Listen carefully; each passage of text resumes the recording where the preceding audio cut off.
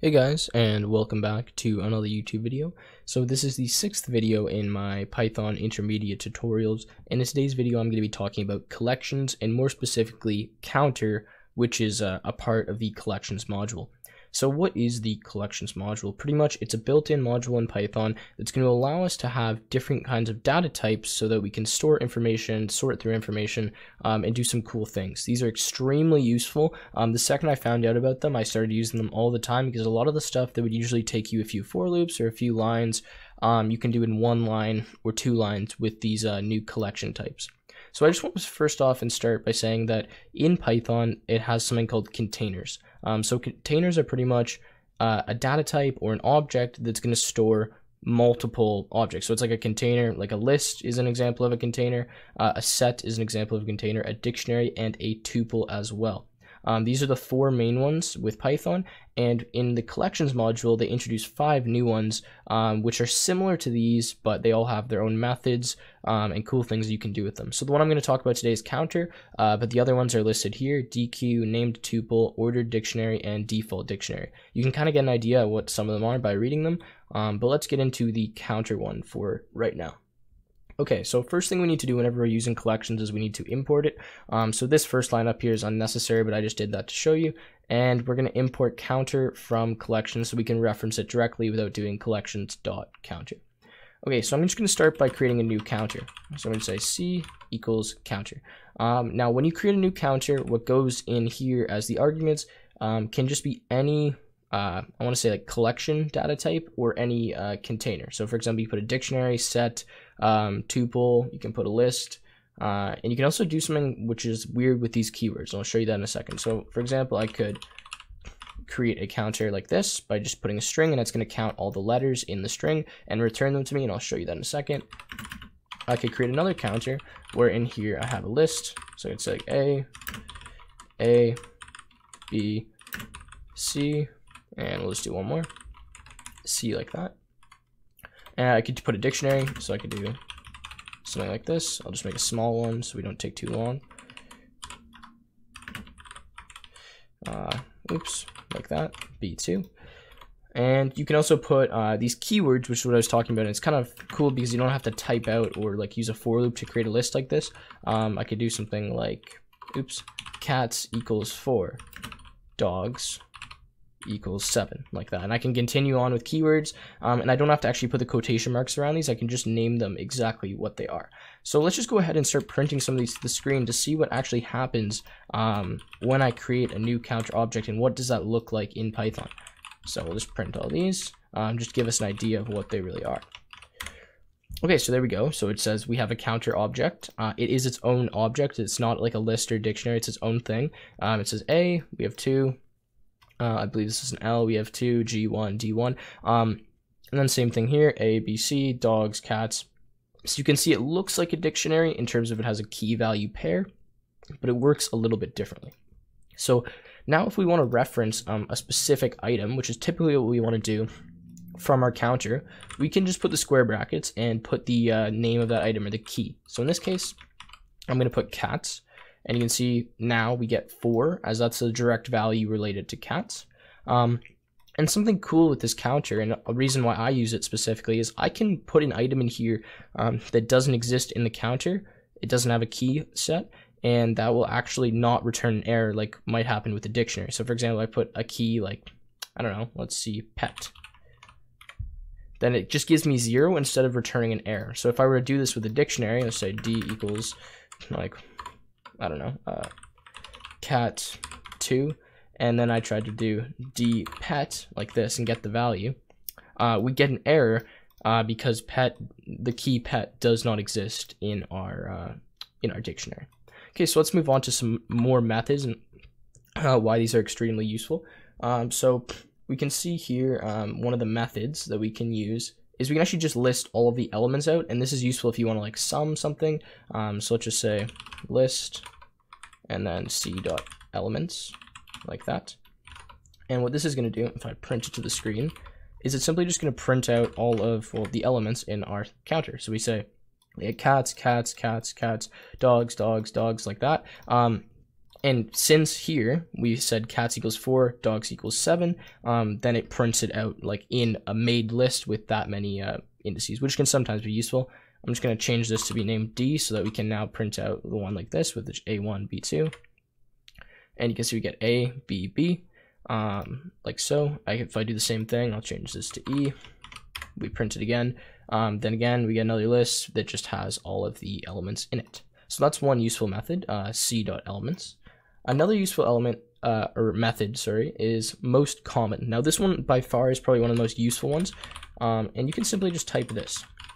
So the name of your counter object, and then dot most underscore common, and then in the brackets here, you're gonna put how many elements you want. So if you wanted to find the number one most common element, you'd put one. If you wanted to find two, you put two. So let's print this to the screen and see what we get. So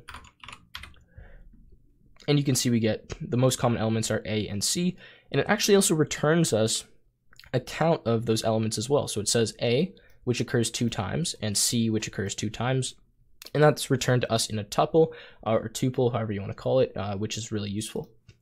Okay, so now another one we're going to use, uh, I'm just going to copy something I have open here just to save us a bit of time in terms of creating counter objects. So I'm going to delete all this and I'm going to make uh, one counter, which is equal to A uh, or C, and then I'm just making a list, which is uh, D, and it's A, B, B, C, like this. Okay, so you can actually do something um, as well with these counter objects. You can subtract counts from them uh, from using other iterable objects, or you can add uh, like the count of objects to them. So one method is called subtract, oops, like this, and it does pretty much exactly what it uh, it says. So we're going to take this counter object. This has to be called on a counter object, by the way. Um, it says with these counts, and we're going to subtract whatever the counts are from D of similar items. So we have one A, two Bs, and a C. So if I do this, and I print to the screen, we should, let's do a quick calculation here, get A is equal to 3, B is equal to 0, C is 0, and D is still negative 2. Uh, none. Oh, it's because I didn't convert this to a list. Sorry about that. Let's do this maybe. None type object is not iterable. Alright, just give me a second, guys. There is a way that we can...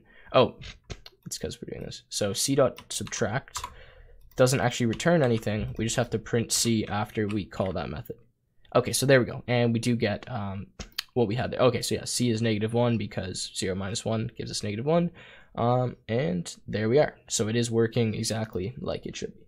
Okay, the next one is update. So I'll run this now, c.update, and this is the exact same thing as subtract, except it's simply just going to add the counts of whatever iterable object you give it. So in this case, I'm going to put d, and note here that I'm using a list, but I could be using like a dictionary, could be using another counter object, um, I could be using a set, uh, a tuple, uh, whatever you want to say there, it's still going to uh, like work for update. So let's see here, and oh, I didn't print C. Let's do that. And there we go. So we went originally, so we changed our counter by subtracting and then we just updated it by adding. So it should be the same as our original counter, which it is. Okay, so that's working well. The next one that I'm going to talk about now is clear. Um, this one does pretty much what it states. Uh, so if you see here, we do c.clear and then I'll print c to the screen and all it's going to do is just remove all of the counts. So we now have an empty counter object that we can use to count something else, to add to, to subtract, so on. Okay, so that's it for the methods pretty well. There's one or two more, but I don't find them very useful, so I'm not going to show them right now. Um, but there's something cool that you can do with these counters, and there's a few operations that are applied to them.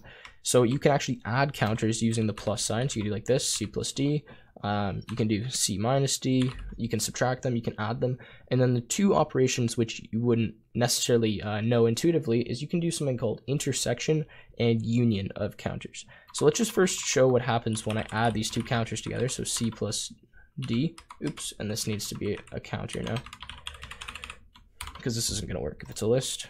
There we go, so make that a counter, and I'll print C minus D, and then we'll print another one after that. So if I add them and subtract them, um, you can see that uh, it works like this. So when I add them, we get the counts added up like this, and when we subtract, uh, we get it subtracted as well.